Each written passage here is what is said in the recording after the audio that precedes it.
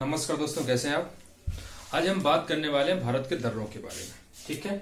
ये काफ़ी ऐसा मुद्दा है जो लगभग हर एग्ज़ाम में एक आध क्वेश्चन इसके आ ही जाते हैं और अक्सर बच्चे इसमें कोई ना कोई गलती कर ही देते हैं। इसलिए हम पढ़ेंगे भारत के सारे दर्रे, चाहे उत्तर में हो, चाहे दक्षिण में हो, या पूर्व में हो, या पश्चिम में ठीक है? थोड़ा सा मैप ठीक नहीं बना है, इसको अवॉइड कीजिएगा। मेरा फोकस आपको दर्रे पढ़ाने पे है, ना कि मैप बनाने पे। ठीक है? ध्यान देना चाहिए इतना। ओके? तो चलिए सबसे पहले हम आते हैं भारत के उत्तर, यानी जम्मू और कश्मीर के बारे में। देखिए, आपको एक चीज़ समझ लीजिए। जो ये रेखा है, ये वो रेखा है, जो हिस्सा हमारे कब्जे पे नहीं है, यानी कि वो पाकिस्तान के कब्जे पे है, ये कौन सा है? पीओके। और ये जो हिस्सा आपको दिख रहा है, ये हिस्सा है अक्साई चीन का। ठीक है? बाकी ये सारा हिस्सा हमारे कब्जे पे है। तो हम शुरू करते हैं यहाँ पे। देखिए, अक्सर एक क्वेश्चन आता है। क्वेश्चन क्या कहता है? भारत का सबसे ऊँचा दर्रा, वो कौन सा है? काराकोरम। ठीक है? कौन सा दर्रा है? काराकोरम।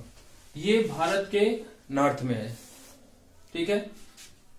सबसे ऊँचा दर्रा, और इसकी हाइट है। इसकी हाइट कितनी है? लगभग पाँच हज़ार छह सौ चौवन किलोमीटर। सॉरी, मीटर, पाँच हज़ार छह सौ चौवन मीटर। ठीक है? ये भारत का सबसे ऊँचा दर्रा है। याद रखिएगा, भारत का सबसे ऊँचा दर्रा। ठीक है? कौन है? काराकोरम ये क्वेश्चन अक्सर आता है। तो इसको आप जो है वेरी इंपॉर्टेंट क्वेश्चन में से लगा लीजिएगा। ठीक है?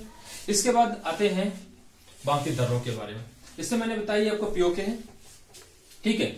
अगर हम यहाँ पे देखें तो यहाँ पे इसके नॉर्थ में, यानी कि जो हमारा जम्मू कश्मीर है इसको जोड़ता हुआ एक दर्रा है, बुरजिल का दर्रा। ठीक है? ये किसको जोड़ता है? जे एंड के हमारा, यानी कि अगर हम बात करें यहाँ पे श्रीनगर है और यहाँ पे आपका गिलगिट है। इनको जोड़ता है कौन? बुरजिल का दर्रा। ठीक है? ये आप जो है नोट कर लीजिएगा। इसके बाद नेक्स्ट है आपका पीर पंजाल ठीक है? ये पीर पंजाल है। और उसके नीचे आपका आता है बनिहाल। बनिहाल दर्रा सबसे ज़्यादा पूछा जाता है। क्वेश्चन क्या आता है?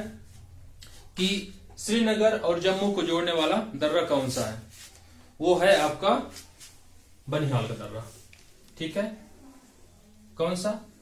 यहीं पे, इसी दर्रे पे एक खास बात है। और वो क्या है? यहीं पे जवाहर सुरंग है। जवाहर सुरंग किसमें है? बनिहाल पे। इसके साथ एक खास बात और है, इस सुरंग के साथ। ये दुनिया की सबसे लंबी सुरंग है। कौन सुरंग? हाईवे सुरंग। ठीक है? ये दुनिया की सबसे लंबी सुरंग है। इसकी लंबाई है लगभग nine kilometre. Nine kilometre. Nine point शायद टू किलोमीटर के आसपास है। एग्जैक्ट मुझे वो याद नहीं है, लेकिन लगभग नाइन किलोमीटर के आसपास है। ये क्या है? दुनिया की सबसे लंबी हाईवे सुरंग है।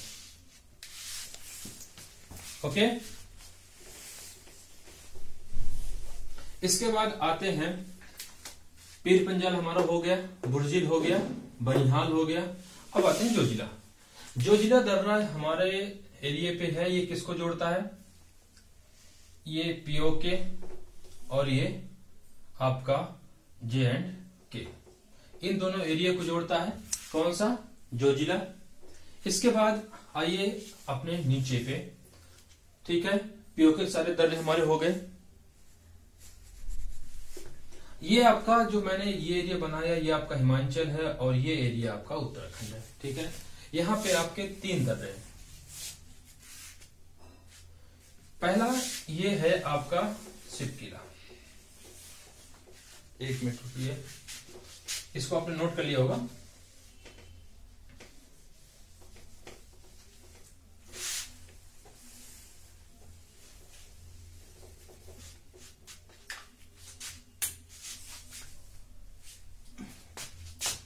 ये आपका है सिपकीला।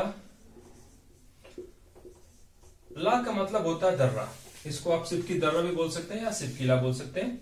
ठीक है? सिपकी दर्रा बोल सकते हैं या सिप की ला बोल सकते हैं, ठीक है? ये आपका सिप की सिपकिला है। ये जो आपका है, ये रोहतांग है।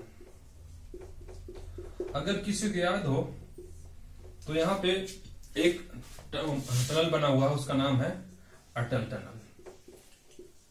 कभी क्वेश्चन अगर आए कि अटल टनल किस दर्रे पे बना है तो कौन सा है?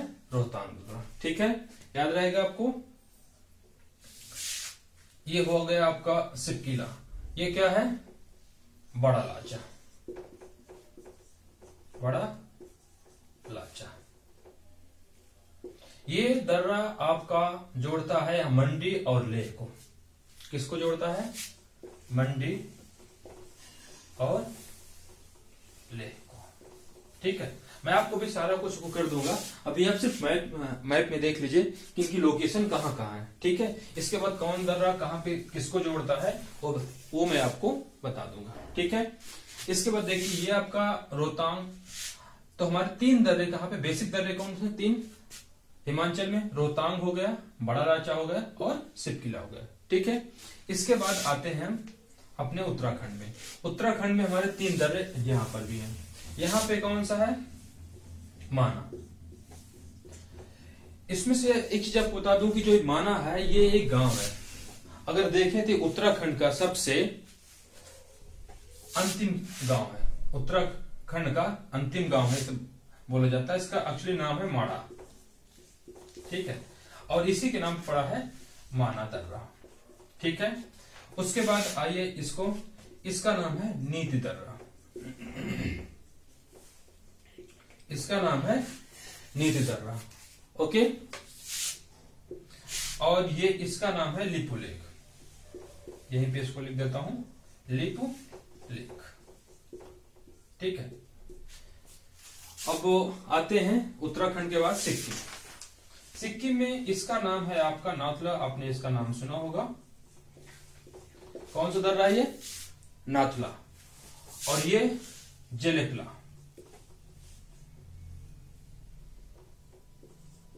जेलेपला या दर्रा। ठीक है? ये आपका सिक्किम के हो गए दो दर्रे। अब आते हैं हम अरुणाचल में। अरुणाचल में जो है, अगर देखा जाए तो यहाँ पर भी चार दर्रे हैं। बेसिक तीन कहते हैं, लेकिन चार दर्रे हैं। ठीक है? फ़र्स्ट आप आइए यहाँ पे बोमडीला। कौन सा है? बोमडीला। ये कौन सा है? ये आप ये कौन सा है आपका? अगर इसको देखें। ये है पांगसाऊ और ये आपका है तिफू ठीक है? अरुणाचल प्रदेश के चार दर्रे कौन कौन से बोमीडेला। उसके बाद यहाँ पे यांगदाउ यहाँ पे पांगशाउ यहाँ पे दिफो इसके बाद एक दर्रा है मणिपुर में। इसका नाम है तुजू। ठीक है? तो ये दर्रे हमारे पूरब के हो गए। उत्तर के हो गए। दक्षिण में और पश्चिम का। अगर हम दक्षिण पश्चिम देखें तो यहाँ पे कुछ दर्रे हैं। आप सबको पता होगा यहाँ पे कौन सी पहाड़ी है? यहाँ पे पश्चिम घाट की पहाड़ी है। ठीक है? यहाँ पे कौन सी पहाड़ी है? पश्चिम घाट की पहाड़ी और यहाँ पे जो दर्रे हैं, ये आपका यहाँ ये आपका महाराष्ट्र है। तो यहाँ पे आपका एक थाल घाट का दर्रा है। और ये आपका भोर घाट ठीक है? थाल घाट और भोल घाट ये आपको केरल वाला हिस्सा है। ठीक है? ये कौन सा है? केरल वाला हिस्सा है। यहाँ पे आपको मिलेगा पाल घाट और ये आपका सेनकुटे। इस तरह से हमने अपने सारे दर्रे कंप्लीट कर लिए। अब हमें इस तरह से जानते हैं इनकी लोकेशन के बारे में। यहाँ पे मैंने आपको सबको बता दिया कि कौन किस किस लोकेशन पे है। वैसे यहाँ पर भी आपको पता ही है। देखिए, ये आपका हिमाचल प्रदेश है। अगर आपको बस एक देखना कि कहाँ पे है, अगर एक बार आपने इसको अपने दिमाग में बिठा लिया, इसके बाद आपको कभी नहीं भूलेगा कौन सा दर्रा कहाँ पर भी है। क्वेश्चन में कुछ भी आएगा क्वेश्चन कैसे भी बनाएगा, अक्सर ये पूछता है कि कौन सा दर्रा किस स्टेट पे है। आपसे सिर्फ़ इतना ही पूछा जाता है।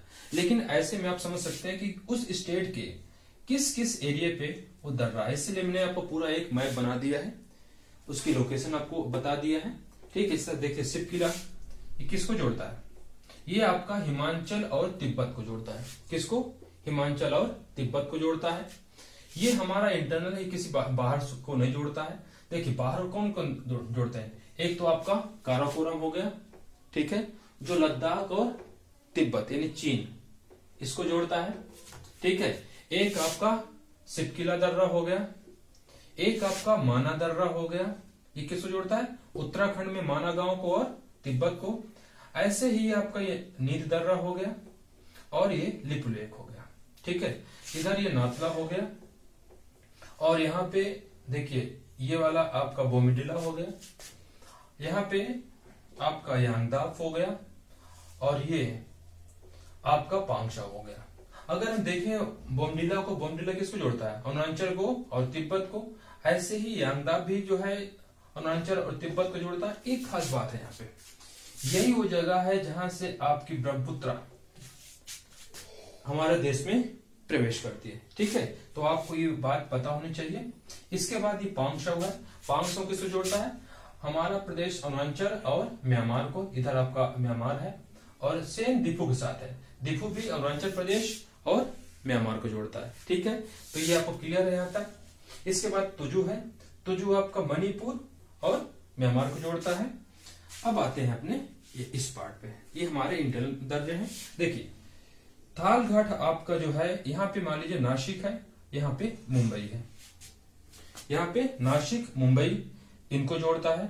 ऐसे ही भोर घाट है। यहाँ पे आपका पुणे है ये मुंबई है ये जो है पुणे और मुंबई को जोड़ता है। इसके बाद देखिए पाल घाट है। ये कोच्चि और इधर आप चेन्नई कह सकते हैं, वो चेन्नई रोड है, उसको जोड़ता है और ये आपका सेनुकुट्टे, ये तिरुवनंतपुरम और मदुरई को जोड़ता है। ठीक है? तो ये चीज़ें अभी मैं आपको डिटेल लिख दूँगा, आप उसमें से देख लीजिएगा। अभी हमें बस एक चीज़ देखना है कि लोकेशन, खासकर इनकी। ये तो हमको पता है, ऊपर है। इसमें एक क्वेश्चन बनता है वो क्वेश्चन क्या है कि पाल घाट कहाँ पे है?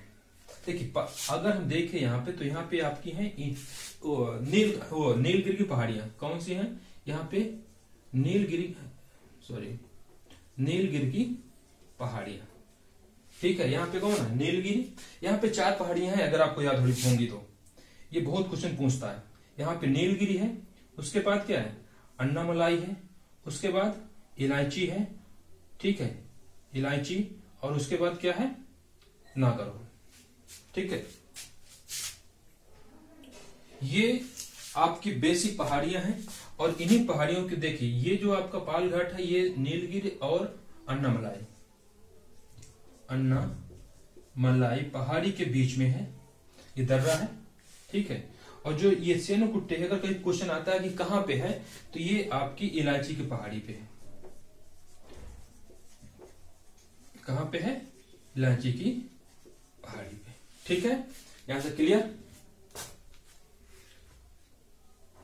आप चाहें तो इसका स्क्रीनशॉट ले लीजिए। इसके बाद मैं आपको कुछ दर्रों के बारे में बताऊँगा जो खास है। ले लिए ले लीजिए। जी। अब देखिए इसमें कुछ दर्रे हमारे व्यापारी के लिए बहुत आ, मतलब जो हमारा व्यवसाय होता है खासकर चाइना के साथ। भाई, इधर म्यांमार है, इधर चाइना है। दो ही बेसिक देश हैं जहाँ से हमारे दर्रे ओपन होते हैं, ठीक है? इसके साथ हमारा कुछ खास व्यापार नहीं है, लेकिन चाइना के साथ हमारा बहुत बड़ा व्यापार है। तो इसमें तीन दर्रे ऐसे हैं जो हमारे व्यापार का मुख्य केंद्र है। देखिए, इस पे अगर हम आते हैं व्यापार का तो एक दर्रा तो आपका ये है नाथुला, ये कहाँ पे है? सिक्किम पे है। ये कौन सी जगह है? सिक्किम है। नाथुला ये हमारा सबसे पुराना व्यापारिक केंद्र रहा है। हमारा सारा व्यापार यहीं से होता था। लेकिन 1962 के जब झगड़ा हुआ, हमारा युद्ध हुआ था, उस युद्ध के बाद इसको हमने क्लोज कर दिया था। और इसके बाद ये 1978 में जो है दोबारा खोला गया था। ठीक है? 1978 में इसको दोबारा खोला गया था। लेकिन इसका जो है, अगर कहें शुरुआत तो शुरुआत हमारी हुई है 2006 से। ठीक है? अब आते हैं सिप किला एक दर्रा ये आपका, है? ये 1993 में से शुरू हुआ है।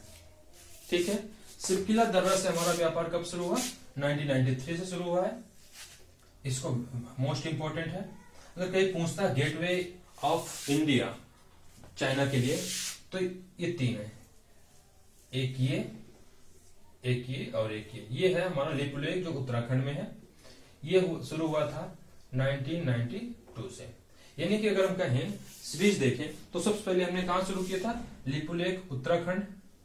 इसके बाद सिपकिला 1993 और ये जो नाथुला, हमारा 2003 में तो हमने वो किया था, उसके बाद 2006 से इसको हमने दोबारा शुरू किया था, चालू किया था। ठीक है? तो ये हुआ आपके सारे दर्रे देश के। इसमें कोई क्वेश्चन होगा तो आप कमेंट करिएगा। मैं आपको वहाँ पे आंसर करने की कोशिश करूँगा। ठीक है? आई थिंक पूरा हो चुका है। चलिए। फिर किसी नए वीडियो के साथ मिलते हैं आपको। नेक्स्ट तब तक लिए नमस्कार।